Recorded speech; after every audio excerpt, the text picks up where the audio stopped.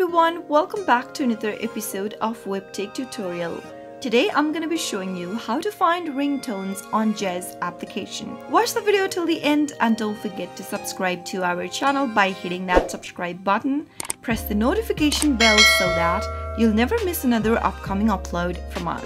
If you want to download free ringtones from Zedge on your Android device, then the process is super easy. Simply go ahead and launch open Zedge application from your Android phone and make sure that you're logged in as well. Once you're inside the main homepage of Zedge, tap on the hamburger menu at the top left. Now tap on ringtones from the expanded menu in order to find the list of the ringtones that you could download on your Android phone. Select the ringtone that you'd like to download, tap on the ringtone and now tap on the download button at the bottom of the screen in order to download this particular ringtone. Now you can see that there are a bunch of options you could work with. You can either set this ringtone as your ringtone, you can also set it as a notification on your Android phone, set it as an alarm sound, or set it to a contact's personal ringtone. You can also save it on your media folder and use it later on by tapping on save to media folder at the bottom. That is how you can easily find ringtones for your Android phone if you want to use it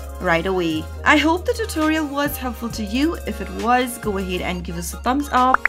I'll be back soon with more videos like this. Thank you for watching.